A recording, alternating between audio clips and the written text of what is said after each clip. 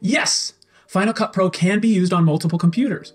But how many? I'll show you, but it depends on your legal classification. Stick around to the end and I'll show you how to transfer your projects from one computer to another, including a step if skipped will leave you with that dreaded red error screen. Let's take a look at the licensing options for Final Cut Pro on Apple's About page. And I'll link to this page in the description so you can look at it more carefully. But if we scroll down, there's a section here. How many computers can you install Final Cut Pro on? It says here for personal non-commercial use, you can install one copy of Final Cut Pro on each Apple computer that you own or control. I'm no lawyer, but to me it sounds like for personal use, you can install Final Cut Pro on all of your computers. Now, if you're a business or a school, you can install Final Cut Pro and use it by a single individual on each of the computers you own or control. So one person can use Final Cut Pro on multiple computers, or a bunch of people can share a computer and use Final Cut Pro on that one computer. And they give an example here too. They say a single employee can use the software on both their desktop and their laptop. Or an example of students, they can use Final Cut on a single Mac computer located in a resource center like a library. So a bunch of students can come and use Final Cut Pro on that one computer. So if you qualify, you can install Final Cut Pro on multiple computers. And if you're ready to do that, I'll show you how. Press Command Spacebar and open up the App Store by typing the word App Store and pressing Enter. And then make sure you're logged in. You can see I'm logged in here. And then I'll search Final Cut Pro, and then I'll click on it here. And once I'm logged in, and if I don't have it installed on this computer, I'll see an install button here instead of open. Currently, I have Final Cut Pro installed on three of my computers. And if you need to update it too, do the same thing. Come to the App Store here, and you'll see an update button here when there's a new version available. Once you've got Final Cut Pro installed on other computers, you may need to transfer your library from one to another. To do that, first connect an external hard drive to your computer. Keep in mind you can't store a Final Cut Pro library on a Time Machine hard drive that is backing up your libraries.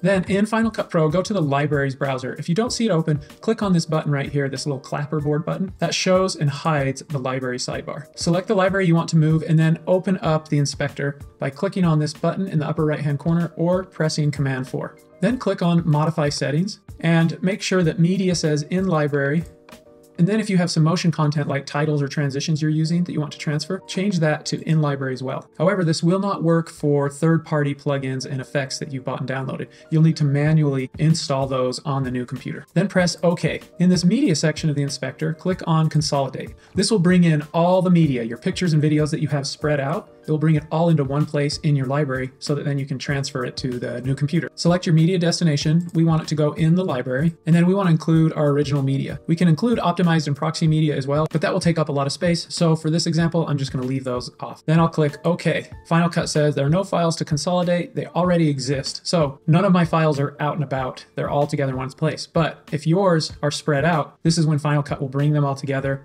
and put them in your library. You can also consolidate your motion content like the titles, transitions, and effects by clicking on Consolidate here. Next, quit Final Cut Pro by pressing Command Q. Now we need to find our library. So click on your hard drive, go to Users, your name, then go to the Movies folder, and you'll see some different libraries here. They have these special icons. Remember, always have Final Cut Pro closed when you're copying or moving a library. So here's the library I wanted to move. I'll just drag and drop it onto my external hard drive, and it will copy over. Now that it's copied over to my external hard drive, I can eject that hard drive and then connect it to my new computer. Now I have the hard drive connected to my new computer, we're pretending here, and I can take this library and I can now copy it or move it to my new computer. I'll just put it right here. And then I can double click it to open it up in Final Cut Pro. And there's our library transferred from one computer to another.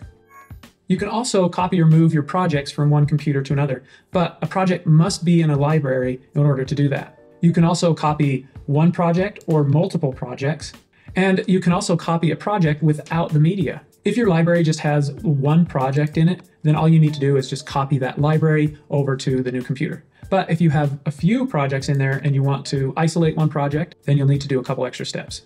I'm curious, are you excited to install Final Cut Pro on multiple computers? If so, and you're enjoying this video, will you please give it a thumbs up so other people will find this video? Thank you. And in just a second, I'm going to show you how to copy a project without the media. But first, I want to show you how to isolate just one project and move it to a new computer.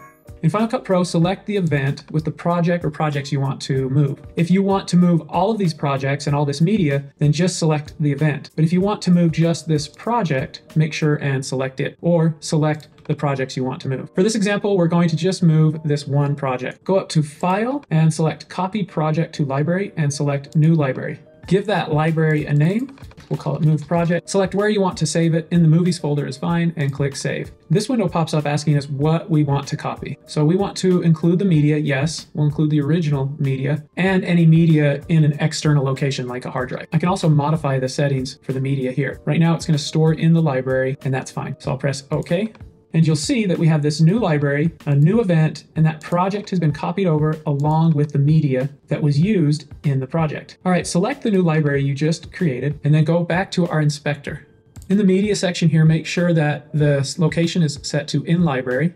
And then again, if we want to include any titles, effects, or transitions, we can store those in the library as well. For this project, I don't have any, so I'll leave it as is. And then I can consolidate media that might not be in the library. However, I have everything in the library right now, so I don't need to do that. All right, once everything's consolidated, let's right click on the library and select Reveal in Finder. This is a fast way to find where your library is stored without running through Finder. Then go back to Final Cut Pro and quit. Now I can move this library that has the one project in it by dragging and dropping it onto my external hard drive. Once that's done copying, now I can take my hard drive, connect it to the other computer, and then drag and drop this project into the new computer and then double click it to open like I did before.